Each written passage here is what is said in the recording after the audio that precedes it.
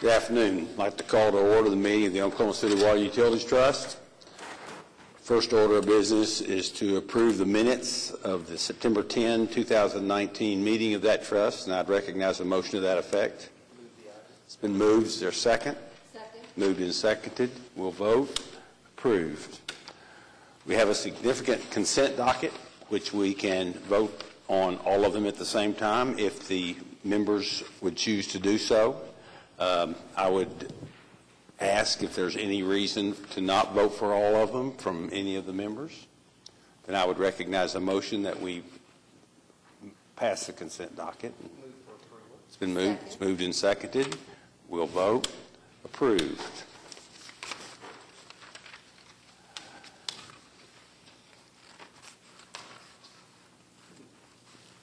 We need to get one more person here to do the emergency construction contract. Brett has gone to get him. Thank you. We can move on to the general manager.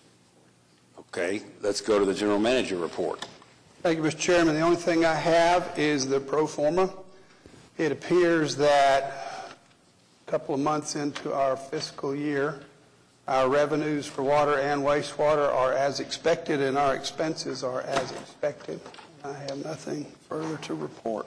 Are there any questions? Thank you, Mr. Chairman. Hmm?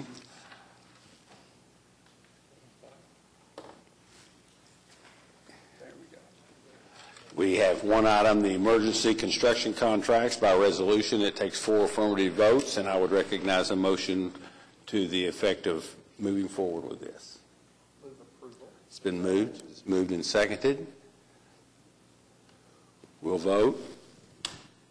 There are four votes that are affirmative. We are, do consider it approved. Nothing on the concurrence docket? I don't, I don't think there's anything on the concurrence docket.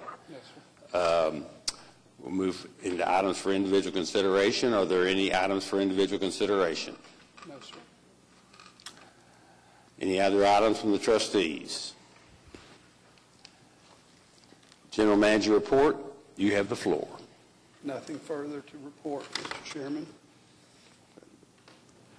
Citizens to be heard. Seeing none, we are adjourned.